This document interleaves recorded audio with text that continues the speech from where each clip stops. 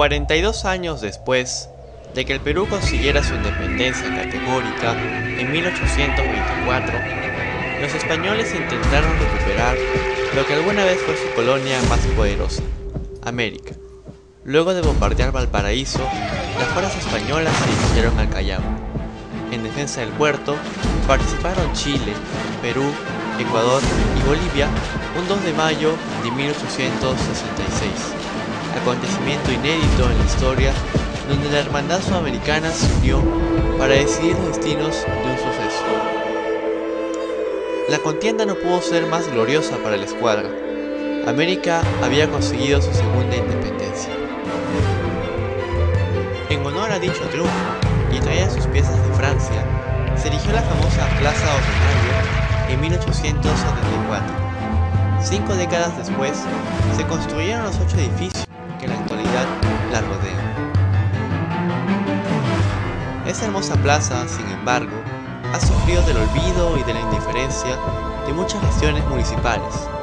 Ronald Castillo, de los colectivos Lima la Única y Lima Antigua, nos hace un tour por la belleza artística de este lugar entrañable de Lima.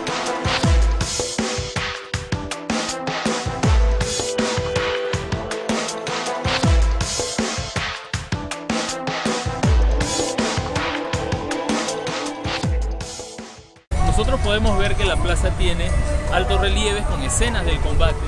Podemos ver también cuatro hermosas estatuas, cada una de las cuales eh, representa a los cuatro países aliados para desalojar a España. Tenemos también arriba, en- al final al- de la columna de mármol, tenemos una estatua de la Victoria Alada o Niké, que representa precisamente el éxito, la victoria que obtuvieron los países americanos contra los españoles. La cuestión es, en todo esto, que nosotros tenemos muchos detalles artísticos en la plaza. Por ejemplo, esta balaustrada metálica es de enorme valor. Son detalles que hoy en día ya no se encuentran fácilmente en otros lugares de la ciudad. Es muy difícil lograrlos. Lamentablemente la gente, con el pasar de los, del- de los años, las autoridades y la gente misma ha ido olvidando el valor de este lugar. Nosotros podemos, al echar una ojeada al estado de la plaza, nos vamos a dar cuenta de que lamentablemente está muy venida menos. Vamos a notar que hay grafitis, vamos a notar que se han robado algunas piezas eh, y algunas de ellas muy valiosas, eh, tanto de las estatuas, partes de las estatuas, como pequeñas piezas eh, alrededor de toda ella. Ahora, cabe preguntarse por qué le tenemos tanto cariño a la plaza. Si finalmente es un lugar que aparentemente ya ha perdido valor después de más de 100 años de inaugurada. Probablemente lo que está ocurriendo aquí es que hemos olvidado más que a la plaza, antes de eso hemos olvidado la historia del Perú y lo que significa para nosotros. Estaríamos hoy en día aquí si es que esas personas no hubieran hecho lo que hicieron hace tantos años. Entonces, yo, por ejemplo, en mi caso personal, como el de muchos que me están oyendo, eh, también crecimos dentro de ese ambiente de olvido y desgano respecto a la plaza. Pero nos dimos cuenta cuando un día simplemente nos detuvimos a mirar los hermosos detalles que hay arriba.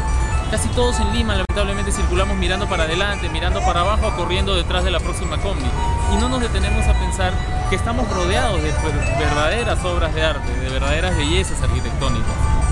Una vez que uno se detiene a ver esas bellezas arquitectónicas y una vez que uno conoce la historia de esas bellezas arquitectónicas, es muy difícil echarse para atrás en el interés hacia la plaza. Pensando en eso, Lima la Única y Lima Antigua han decidido hacer una jornada el 15, el domingo 15 de enero de 2012 para recordar y para informar a todos qué es lo que ha ocurrido aquí en la Plaza 2 de Mayo y cuál es el valor de cada uno de estos detalles. Así como tú, otras personas visitan, entran, pero te queríamos preguntar si tú sabes eh, de qué se trata la Plaza 2 de Mayo. ¿El 2 de Mayo de cuándo? ¿Qué pasó un 2 de Mayo?